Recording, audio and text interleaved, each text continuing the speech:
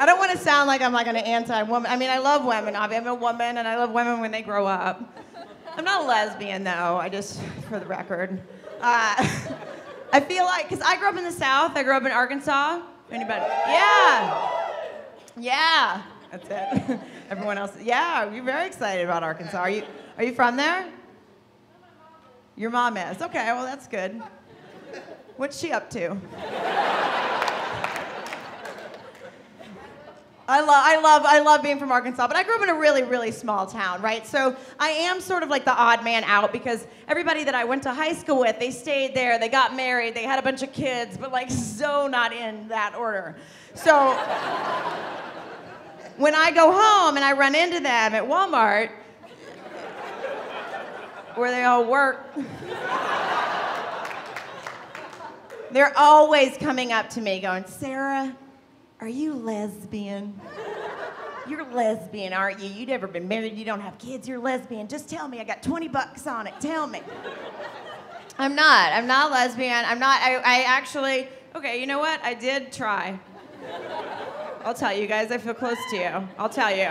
I did. I tried. I tried. Uh, I was, oh, this is such an embarrassing story. But um, I was in college and I was in the theater department, and all my friends and like all my, they all were gay. All the guys were gay, and all the women were lesbians. And so I was like, you know, they just looked like they were having fun all the time. Like I was dating these guys in college, and they were annoying, and I was like, I don't know, it looks nice being a lesbian. Maybe I should do that. So I, so I take my roommate. This is a roommate of mine at the time. I take her out to dinner to come out to her, and. Now, she's a real lesbian, so we keep the story. Okay, so she and I go out to dinner and we start talking. And after we finally had a couple margaritas, and I was like, Rebecca, I have to tell you something. I brought you here to tell you I'm a lesbian. And she said, No, you're not. And I said, Well, yeah, yeah, I am. She said, No, you're not. I said, Yes, I am. I just came out. You came out one time, and now you're a lesbian, and I came out now too, so I'm a lesbian. That's how it works. And she said, No, I came out because I'm gay. You're coming out because you're hammered.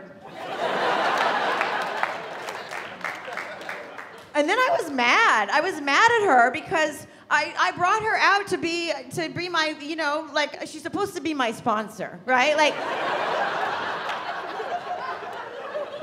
Like that's what I figure. Like I have a lesbian, a real one. I'll take her out, and then she'll be my sponsor. And then like like in AA, so late at night when I'm like Rebecca, I really need some dick. She'd be like, Get away from the dick. You don't need the dick.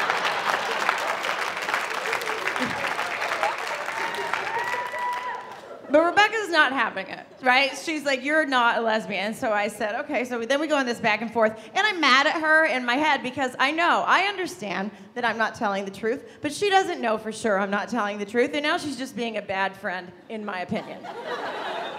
so I decide to keep going with it, right? And I said, I am, I'm gonna, I'm a lesbian, that's right. And she goes, no, you're not. I said, yes, I am, and I'm gonna prove it because we're gonna go back to our place tonight, and I'm gonna eat your pussy.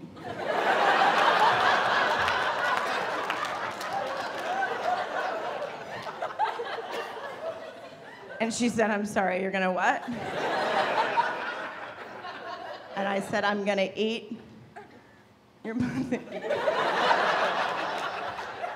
And that's exactly how I said it because the second I said it, I was like, I don't want to do that. I don't want to do that.